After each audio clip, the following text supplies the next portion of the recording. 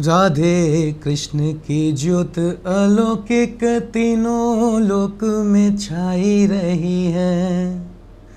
भक्ति विवश एक प्रेम पुजारन फिर भी दीप जलाए रही है।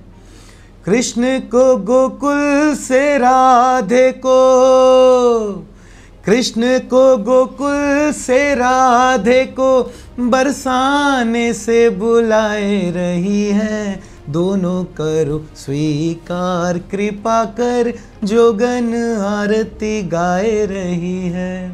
नमस्कार दोस्तों, मैं Rishabh Gautam the law of attraction coach motivational speaker बहुत बहुत स्वागत करता हूँ मस्त वाली सक्सेस स्टोरी में।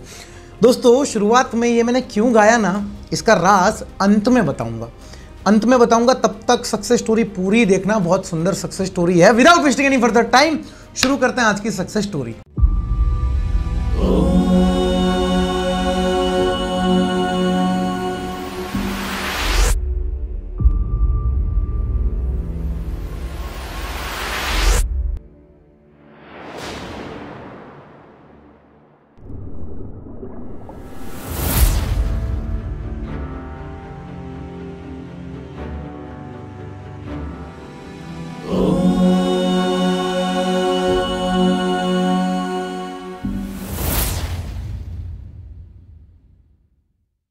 प्यारे दोस्तों सक्सेस स्टोरी में आगे बढ़ने से पहले अगर सब्सक्राइब नहीं किया तो अभी सब्सक्राइब करके नोटिफिकेशन बेल आइकन को ऑन करिए, क्योंकि ऐसी वीडियोस आपकी वाइब्रेशन के लिए बहुत ज़रूरी है।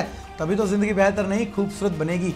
साथ ही साथ लव प्रॉब्लम चल रही है, प्रेम की नैया पार नहीं हो रही है तो ये रहे हेल्पलाइन के नंबर आज ही अपनी प्रॉब्लम भेजिए, ज़िंदगी बेहतर नहीं, ज़िंदगी खूबसूरत बनाइए। चलिए फटाफट से सक्सेस स्टोरी पढ़ते हैं, और याद है ना, शुरू में कुछ गाया है, गुनगुनाया है, आपके काम का है, लिख के देता हूँ। ये वाली चीज़ करना टेक्निक के रूप में मज़ा आएगा। तो चलो पहले सक्सेस स्टोरी पढ़ते हैं फटाफट से।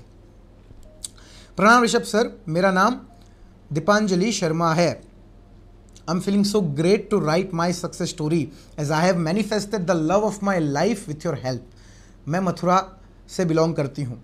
सर, बाकी लोगों की तरह नॉर्मल चाइल्डहुड नहीं था मेरा। I was very young when I lost my mother उनके जाने के बाद मेरे पापा ने दूसरी शादी करी। मेरी फैमिली फाइनेंशियल फाइनेंशियली स्टेबल है, लेकिन मुझे उनसे कभी इमोशनल सपोर्ट नहीं मिल पाया। मैं बचपन से ही वैष्णव में वैष्णव हूँ।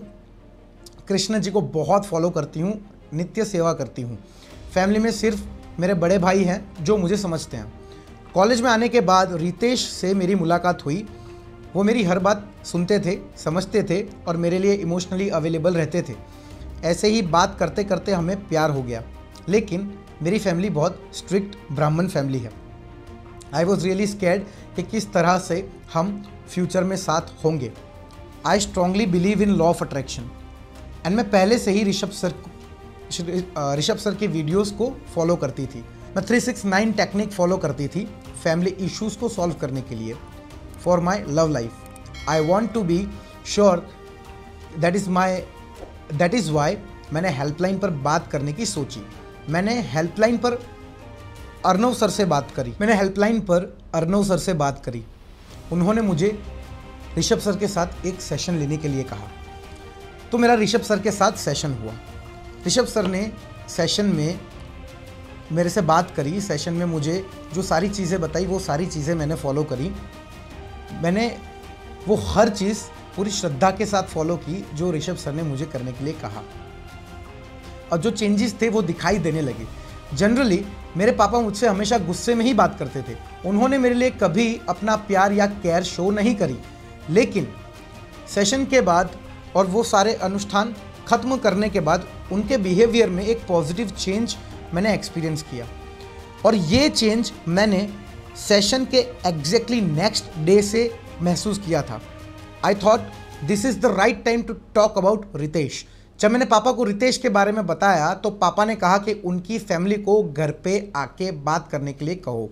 रितेश भी ब्राह्मण थे तो इतनी ज़्यादा परेशानी नहीं होती।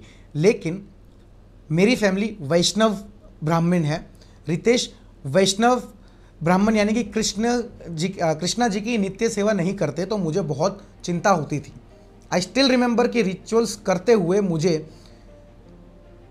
नौ दिन हुए थे जब रितेश की फैमिली हमारे घर आई, हमारे रिश्ते की बात करने। दोनों फैमिलीज़ के बीच बहुत अच्छे से बात हुई। फाइनली हमारा रिश्ता पक्का हो गया। रितेश के पेरेंट्स ने मुझे शगुन भी दिया। उस दिन जो भी हमारे घर पे मैंने देखा, वो मेरे लिए किसी मैजिक से कम नहीं था। Finally I was getting married to the love of my life Ritesh. ये सब सिर्फ़ ऋषभ सर आपकी वजह से पॉसिबल हो पाया, अर्नव सर आपकी वजह से हो पाया। I can't thank you enough in words आपने मुझे मेरी लाइफ की सबसे बड़ी खुशी दी है। आप बहुत अच्छा काम कर रहे हैं। प्लीज़ इसे कंटिन्यू रखें। कृष्णा आपको और success they. Thank you so much for everything जब भी मथुरा आना हुआ, आपको घर ज़रूर आना पड़ेगा सर जय श्री कृष्ण। सबसे पहले जय श्री कृष्ण। हरे कृष्ण। मेरी प्यारी बहन, सबसे पहले मैं यही कहना चाहूँगा कि सारा का सारा चमत्कार कृष्ण कन्हैया का है। मैं केवल और केवल एक माध्यम हो, सकता हूँ, लेकिन मैं बहुत खुश हूँ, बहुत प्रसन्न हूँ कि फाइनली आपको मंजिल मिली। पिताजी मान गए। बस अब इंतज़ार है कि शादी के बाद आपकी एक सक्सेस स्टोरी आए, हम फिर से इसे शेयर कर पाएँ। मेरे प्यारे स्टूडेंट्स जो भी यहाँ तक टिके हैं, जो शुरुआत से सोच रहे थे सक्सेस स्टोरी के बाद बहुत अच्छी चीज़ मिलेगी तो वो सुनिए। सेशन में जब मैंने देखा तो वो बहुत रो रही थी, बहुत परेशान थी। अब ये तो मुझे पता था वो वैष्णव हैं, वो कृष्ण की नित्य सेवा करती हैं तो मैंने कहा कि चलिए आप आँख बंद करिए। आँख बंद करिए अच्छे से। अब गोपी चंदन लगाइए। तो आँख बंद करके उन्होंने विजुलाइज किया कि मैंने गोपी चंदन लगाया है, वो तुलसी की माला कंठ माला मैंने पहनी हुई है। कंठ माला पहन के मैं कृष्ण जी के सामने खड़ी हूँ, उनकी नित्य सेवा कर रही हूँ, आरती कर रही हूँ। साथ में रितेश खड़े हैं। और पीछे पिताजी आशीर्वाद दे रहे हैं। और कौन सी स्तुति गा रहे हो आप? कृष्ण जी और राधा जी को देख के, राधे कृष्ण की ज्योत अलौकिक तीनों लोक में छाई हुई है। भक्ति विवश एक प्रेम पुजारन फिर भी दीप जलाए हुई है।